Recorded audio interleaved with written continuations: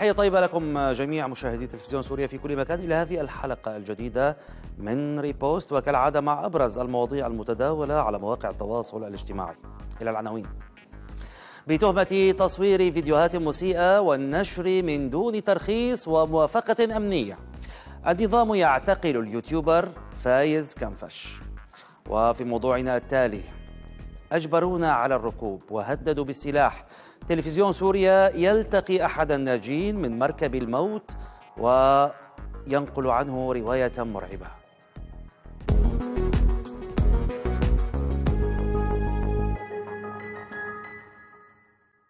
يسعد لي وقتكم حبايبي. كيفكم؟ شو أخباركم؟ إن شاء الله تكونوا تمام إن شاء الله تكونوا بخير. معكم يوسف قباني. فايز كنفش فايز أخي يا جماعة. أبو كريستيانا كريستيانو مو هون ببريطانيا حبايبي.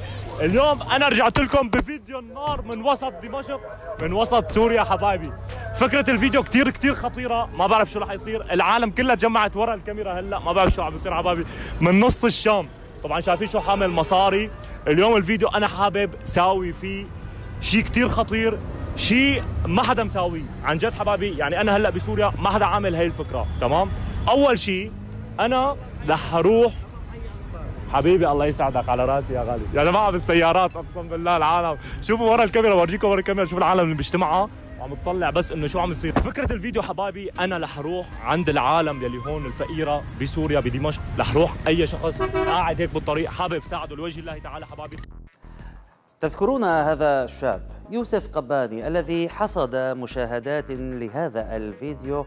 على حساب حاجة الناس على ما قاله متابعون في وقتها في أحد شوارع دمشق. حيث حمل حفنة من النقود السورية من العملة السورية قد لا يتجاوز مجموعها المئة دولار أو ما تساوي 100 دولار وارتدى كما نشاهد زيا عربيا وشرع بتوزيع تلك النقود على الناس. لكن لا ليس هو المقصود اليوم بل الشاب الذي يظهر بجانبه وهو بحسب المعلومات المتداولة أخوه من أمه ولذلك لا يحمل نفس الكنية.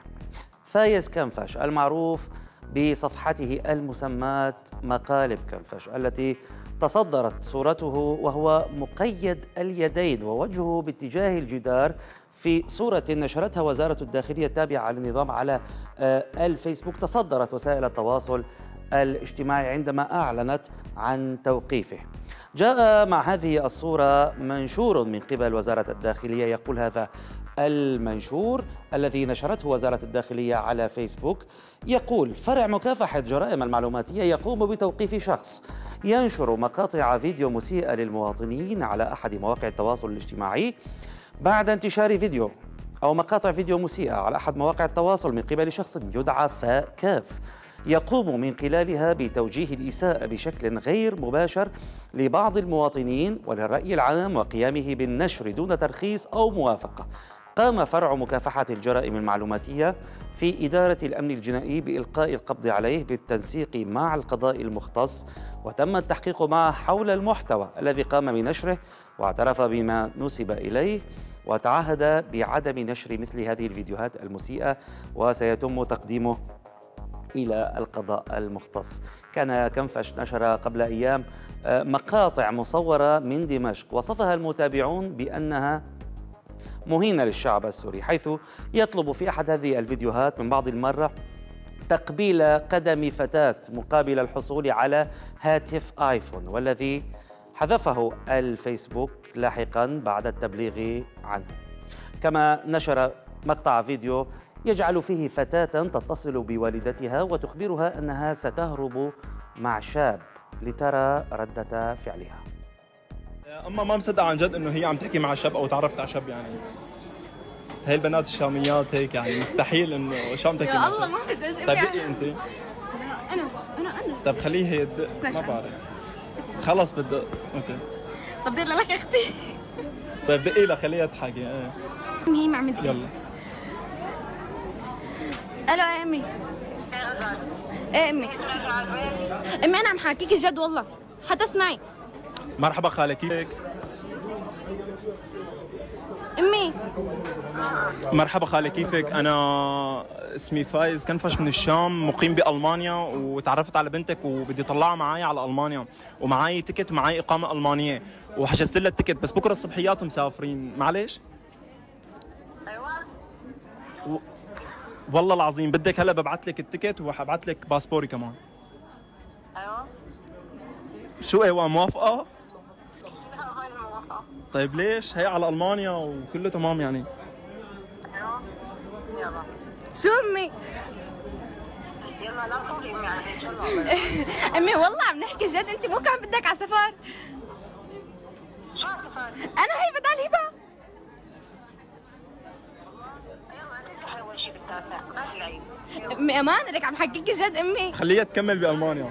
إيه بكمل بألمانيا مع دلع اي يلا كملي كملي بألمانيا. ما صدقت خلص قولي لي حكيها. أمي مقلب مقلب أمي مقلب هذا. صدقت إنه بدها تطلعي معه بعد النهار دغري ما بتصدق ما بتصدق. ليش؟ أنت أمك؟ إيه بتصدق. بتصدقك؟ بتطلعي؟ بتطلعك أمك على ألمانيا؟ مو أنا أختي. أنا على حالتين نحن نطلع على عندك حساب. إنستغرام؟ بحط لك اياه هون. بعد بكرة بيجيك عالم خطابين دغري على ألمانيا. تطلعي؟ غلط بلاها؟ يلا. نشر كنفش أيضا فيديو آخر تضمن مقلبا ادعى فيه أن يده مكسورة وطلب من المارة ربط حذائه. أنا آسف عن جد. خلي لي إياكي. عن جد هذا كله ذوق منك. تمام. تمام مستمر آه بس بدي لك شغلة. أنا هي كانت تجربة اجتماعية على اليوتيوب. عندنا مليون ونص متابع عم تمزح لا ما بمزح آه، أصدقائي كيفكم؟ شو أخباركم؟ معكم فايز كنفش ورجعتكم بفيديو جديد. بس هذا الفيديو راح يكون شوي هيك حزين لأنه أنا إيدي انكسرت بالغلط. أنا وعم بطلع على الدرج بدل ما تحطها هيك حطيتها بالعكس وانكسرت. المهم قلت راح استفاد من هذا الكسر إنه أنا مريض وبحاجة إنه مين حدا يربط لي صباطك. هي تجربة اجتماعية بنص الشام هون. بتمنى عن جد إنه هيك ما حدا يخيب لي ظني وأنا بظن إنه أهل الشام بيساعدوك بيطعموك بيشربوك بكل شيء لأنه أنا منهم فيهم وما حدا بيردوك خايب إن شاء الله. رح نشوف الفيديو. أنا متحمس كثير للفيديو. بنص الشعلان لو سمحتي بس معلش أسألك سؤال. أنا بس عايز أربط صباطي. فيكي بس تساعديني لو سمحتي؟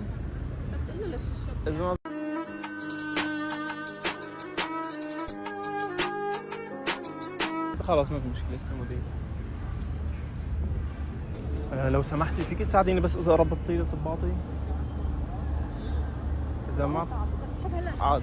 لا يستلموا ديك خلاص يستلموا ديك.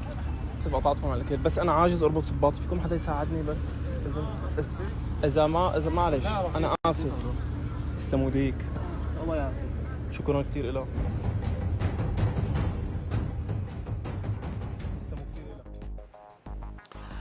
كنفش كان قد ادعى في تصريحات سابقة لموقع أثر بريس المقرب من النظام أن الهدف من الفيديوهات الأخيرة هو التأكيد على كرامة السوري ورفضه الذل مقابل المال وزعم في تصريحه للموقع أن مناطق سيطرة النظام في سوريا تعيش في ظل ديمقراطية وحرية في التعبير ويمكن لكل شخص التصوير من دون عوائق مضيفا أنا نزلت من أوروبا بعد أن عشت هناك سبع لثمان سنوات لأنه بعرف أنه سوريا فيها قانون وما حدا بيتعدى على القانون. بس اتعدى على القانون حق الدولة أنه تحاسبني. كنفش كان مقيما في ألمانيا لكنه اضطر إلى العودة إلى سوريا بعد أن فتحت ألمانيا تحقيقا معه وأوقفته بتهمة تمجيد العنف. حيث صور كنفش فيديوهات قالت النيابة العامة الألمانية إنها تحريضية حيث ظهر في إحداها وهو يطارد شابا يرتدي زيا للشرطة الألمانية وبيده سلاح غير حقيقي. ويظهر في ختام المقطع لي آه، على الشرطي وينتزع منه معداته. يا جماعة أنا هلا وصلت على الغابة. هون موعد فايز. رح صفر له كالعادة. وشوف وينه.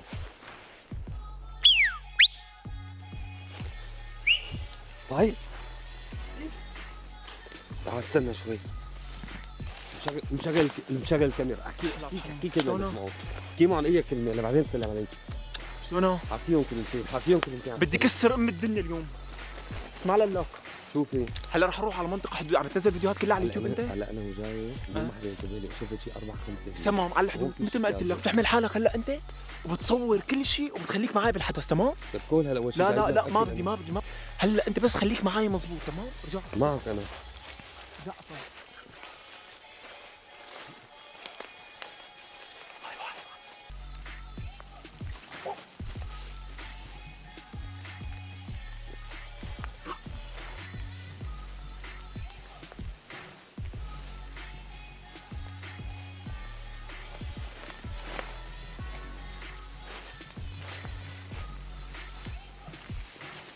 Hey! Hey! Oh, damn it!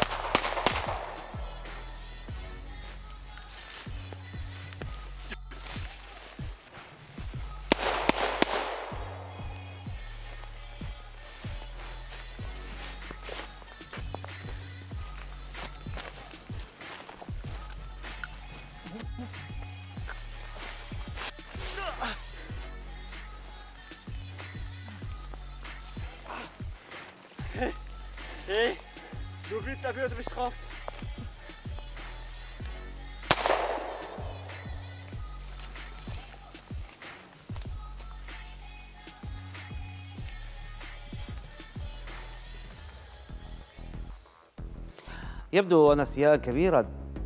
شهدته مواقع التواصل الاجتماعي على المقاطع التي ينشرها فايز كنفش.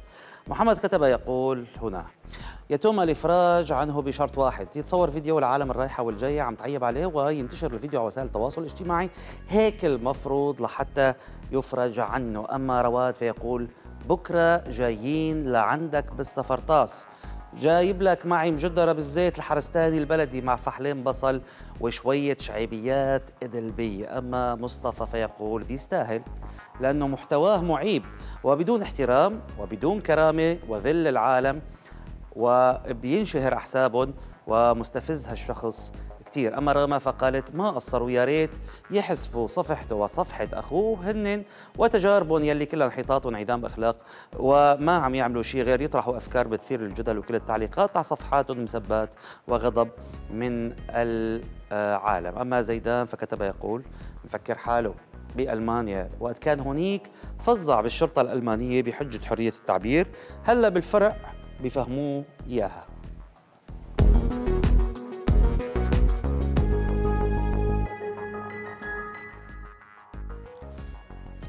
تسعون غريقا ابتلعهم البحر وهم يفرون من سوريا لتعود أجسادهم إليها مرغمة تتلاطمها الأمواج. ما هذا الوطن الذي يلفظ أبناءه قهرا وفقرا وقتلا وخوفا وذلا؟ يا لبؤس هذا العالم العاجز عن إنهاء المأساة المهم ما زال بشار الأسد يضحك بضحكته البلهاء أمام العدسات الرحمة لضحايا والعزاء لذويهم.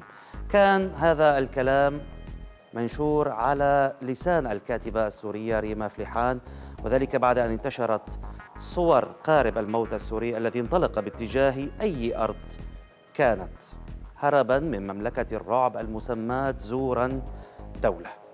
لم تهدأ الصفحات على مواقع التواصل الاجتماعي منذ أيام بعد انتشار خبر غرق القارب الذي انطلق من طرابلس في لبنان باتجاه البحر وحاملا على متنه نحو 150 مهاجرا جلهم من السوريين والفلسطينيين وغيرهم من جنسيات الشتات.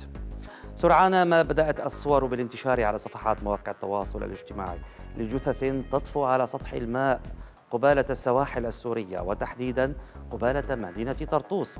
فيما تداول البعض صورا قالوا إنها للقارب الذي انقلب في البحر راميا من كان بداخله إليها.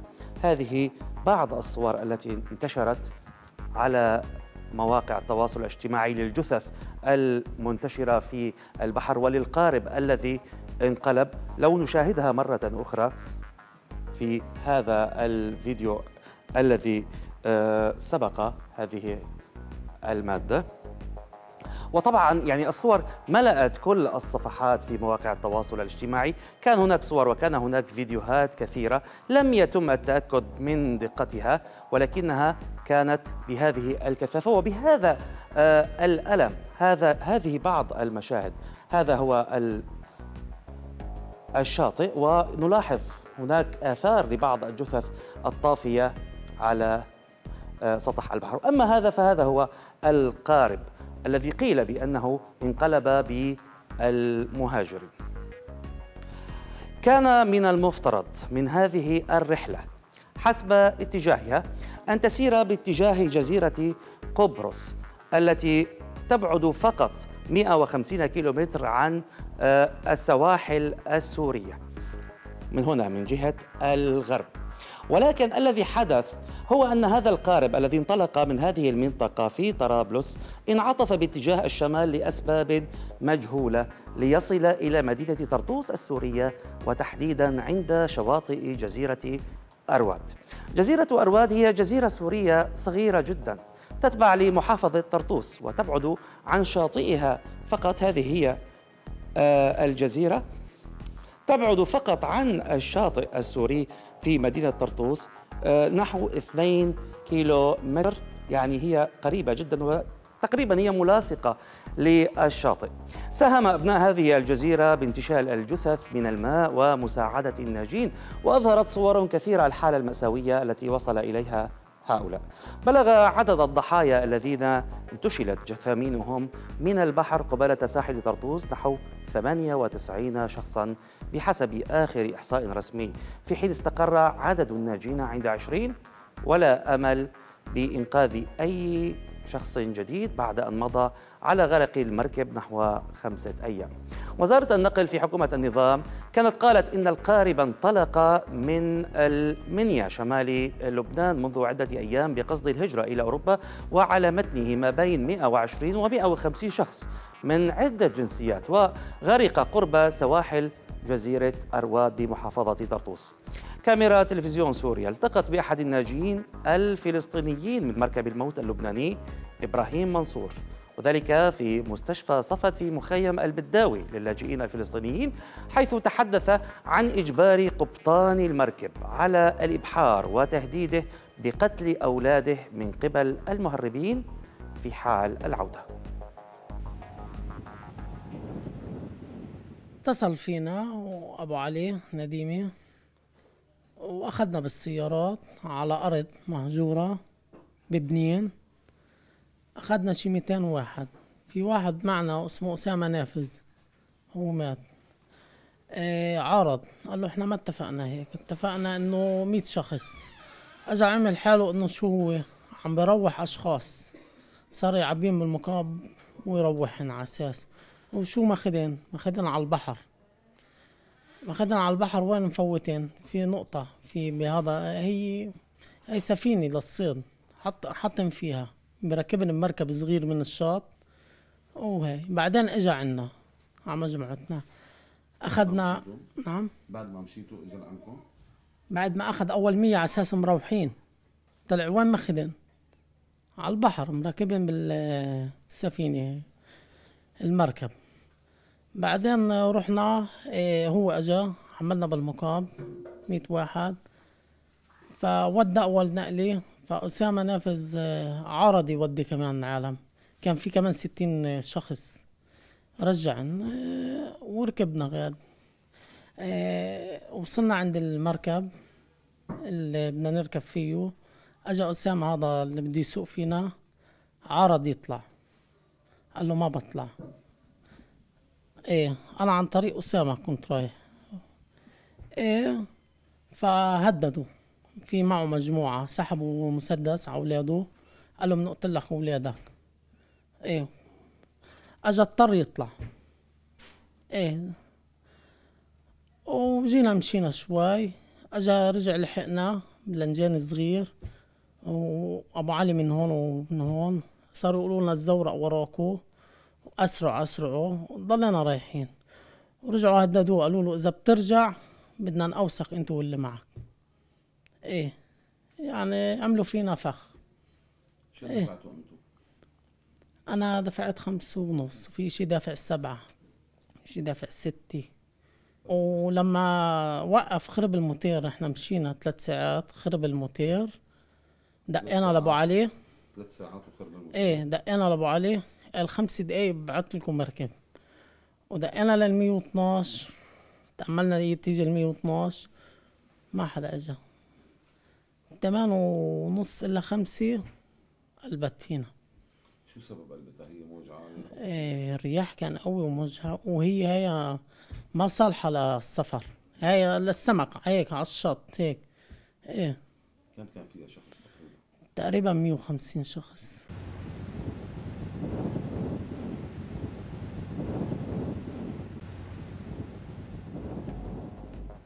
التفاعلات كبيرة مع غرق مركب الموت وأخذت أشكالا عديدة منها ما شهده ريف إدلب حيث رسم عزيز أسمر وأنس حمدون هذه اللوحة الجدارية على جدار أحد المنازل بريف إدلب وهي تعبر عن واقع الحال الذي وصل إليه هؤلاء المهاجرون قبالة السواحل السورية أثناء فرارهم إلى مكان ما.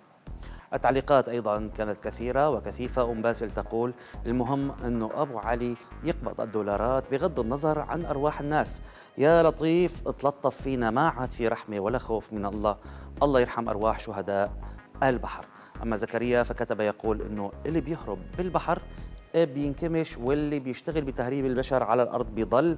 وما حدا بيتحاسب ولا حدا بيسأل حدا بأمره. أما ناهد فقالت مثلنا والله العظيم طلعونا دفعات بالبلم لجوات البحر على قارب صيد وصاروا يضربونا ويعيطوا علينا نقعد وما يطلع صوت وتاني يوم الظهر وقف القارب والميتور عطل ولقونا بواخر إيطاليا الله يجزيهم الخير وساعدونا. والله ما بينتسى هذاك اليوم حسبنا الله ونعم الوكيل. أما زينب فتقول ما بيحلها إلا الطبل والزمر. برافو استمروا. لو سمعتوا خبر غرق 100 شخص بالبحر بدولة الموزمبيق الشقيق لأعلنتم الحداد تعاطفا معهم بالتأكيد بس ما سمعتوا أما مها فتقول والله والله إذا بتنقبر نص الناس والنص مفقود بالبحر ما عندكم استعداد تأجلوا حفلة.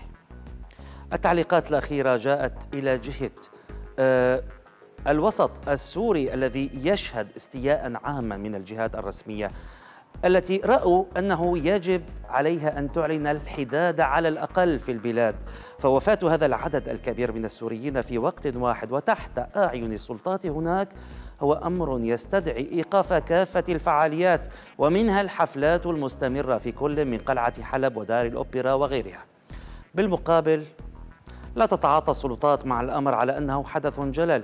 إذ أنها ماضية بحفلاتها لتقول للعالم إن سوريا بخير والعصافير تزقزق وهؤلاء الفارين مجانين.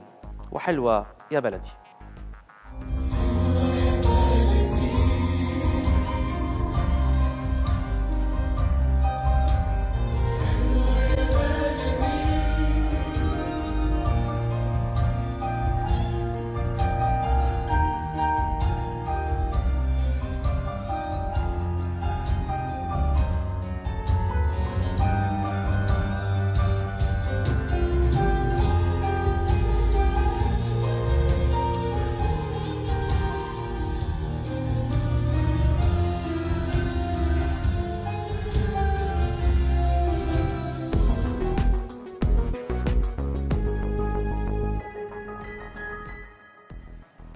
ختام ريبوست اليوم مشاهدينا غدا لقاء جديد بتمام السابعة بتوقيت دمشق. إلى اللقاء.